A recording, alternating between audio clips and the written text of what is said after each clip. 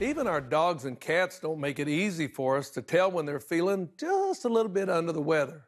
So, how does the veterinarian at the Louisville Zoo make sure that all the zoo's animals are healthy and feeling good? And what happens when it's dinner time? Is there one big bag of zoo chow for everyone?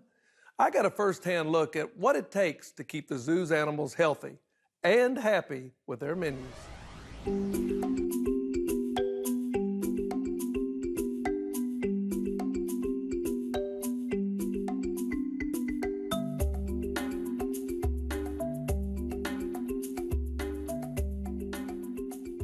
We happen to be in a place where uh, I get a little nervous sometimes. You know, I mean, this is where you do a lot of your work on all of the wonderful animals that you have here at the zoo. And tell us just a little bit about where we are here at the zoo.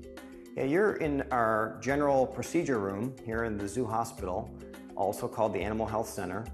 And this is where most of the medical procedures happen. So animals up to about 500 pounds we can bring wow. into this room. And that's, of course, birds and reptiles, amphibians, even fish procedures we've done in this room, on up to the big mammals up to about 500 pounds we get to bring here and look at them, and anesthetize them, of course, and, and give them a once over. Okay, you've got an interesting job. Now, when I go to the vet, I'm taking my dogs, and that's pretty much what we're going to see dogs and cats.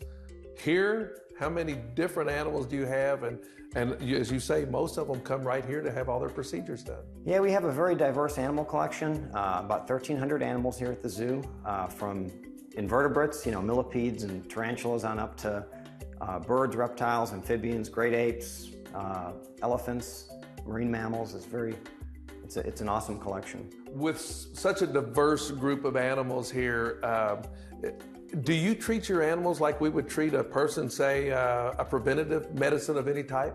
Absolutely. You know, wild animals and zoo animals hide their disease, and uh, so we try to be on the preventative end of things, trying to prevent issues.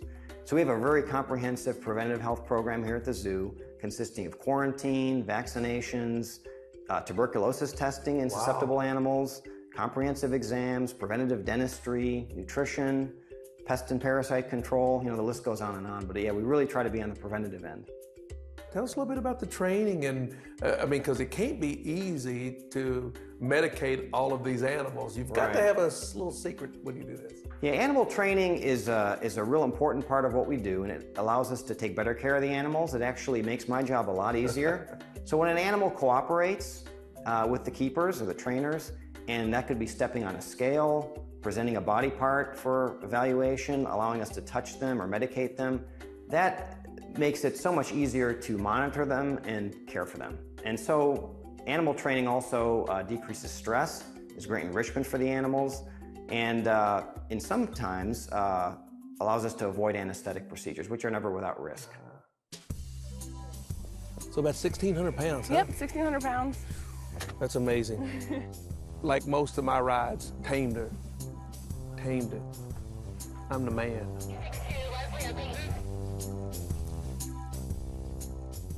So how much could they carry as far as pounds? Um, technically, camels can carry half their body weight.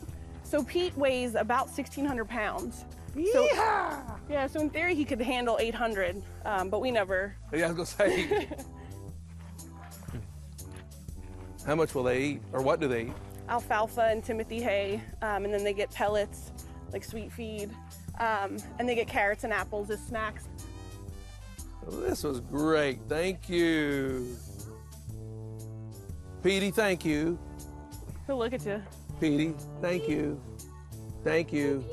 Oh. I love Petey.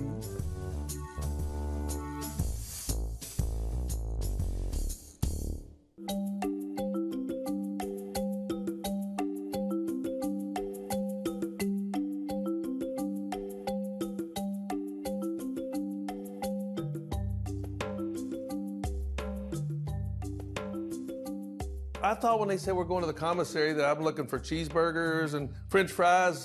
This isn't the commissary I was looking for. No, it's a little different. We uh, do things a little more on the healthy side. Well, you brought me here to the grain room, which mm-hmm. is called, and behind us we've got foods for, let's see, for everything. This has got to be amazing what you have to do, the nutritional value that you have to give to so many different animals that you have here at the zoo. What is the process of doing all that?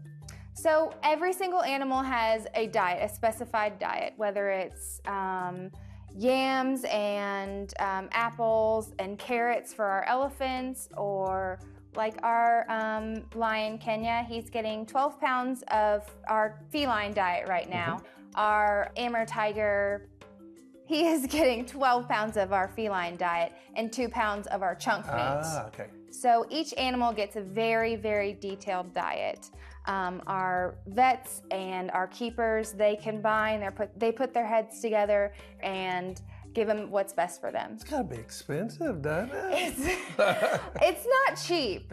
Um, we go through about, um, we get a bunch of deliveries. We get fresh produce every single day. We get a grain delivery every single week. We get frozen rodents every week. Um, so if they need glucosamine supplements because they're feeling a little achy that day, or if they're a younger animal and they need, you know, Whatever. yeah, whatever they need. But you'll get the advice from an expert and they'll tell you what you need and boom, you fix it right It's up for 'em. absolutely the best thing that they can. Well, now we see all the The- dry food, but you got to have food that's frozen too, right? Because you got to keep things fresh. And Mm-hmm. you must have a big refrigerator. We do have a big refrigerator. Um, we have fresh produce that comes in every day. We also have access to a large freezer. We have frozen chunk meat, frozen rodents, frozen. Um, we have a little bit of frozen Frozen rodent, my favorite. I think that's the one I like. frozen mice, frozen rats, rabbits, and things like that on stock, just so we can keep things as fresh as possible. But always trying to give them the diet that they would have out in the wild and what they Mm-hmm. were created to eat. yes, And the very best too. very best. I've best noticed that to the them. care here has been amazing.